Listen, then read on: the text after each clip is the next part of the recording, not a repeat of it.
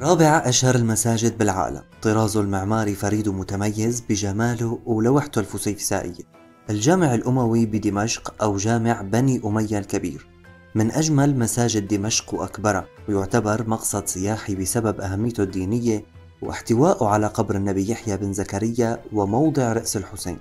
إضافة لكونه معبد تاريخي وكنيسة قبل ما يكون مسجد على زمن الوليد بن عبد الملك.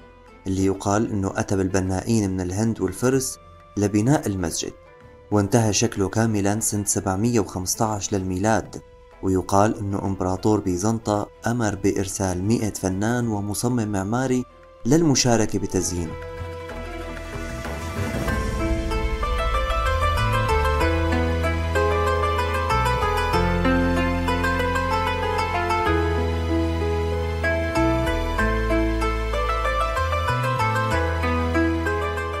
شكل المسجد مستوحى من واحد تاني مبني بالمدينة المنورة ولكن يوجد لهذا الجامع ثلاث مآذن. الأولى تسمى قايتباي وهي أول مئذنة بنيت على الطراز المملوكي ومئذنة النبي عيسى أطول مآذن المسجد وبتبلغ 77 متر. وآخر المآذن وأقدمها العروس وهي المئذنة الشمالية المطلة على رواق المسجد وسميت بالعروس بسبب لون حجارتها الأبيض اللامع وتميزت هي المئذنة بأنها مربعة الشكل. ويقال أنه كانت تستخدم سابقا كمنارة لدمشق ومنها انتقل شكل المآذن المربعة لشمال أفريقيا والأندلس.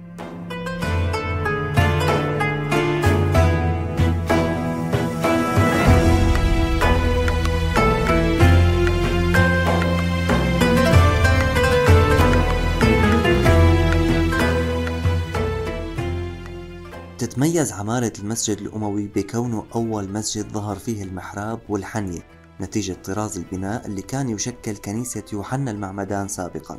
ويوجد أيضا داخل صحن الجامع عمودين ذو رأس نحاسي مزخرف كانوا يستخدموا للإضاءة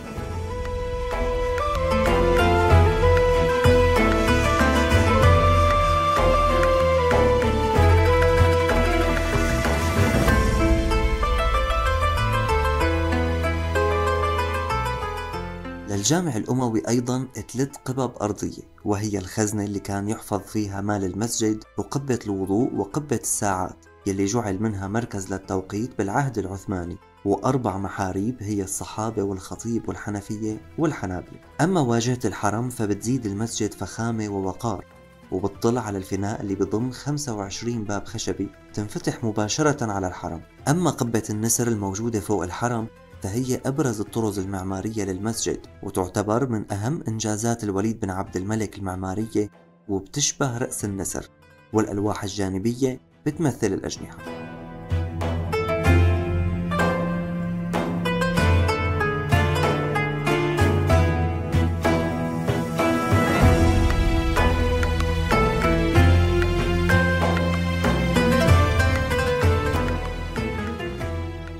المسجد على أرض الواقع بيشبه اللقطات هي ولكن بهاءه وجماله بزيده وقار وبدل على عظمة الفترة المعمارية اللي كانت واللي استمرت من لما كان معبد وأيضا جميع الحقب اللي مرت على المسجد وطورت عليه كبناء لا سيما بعد الحرائق اللي اندلعت فيه على مر السنين.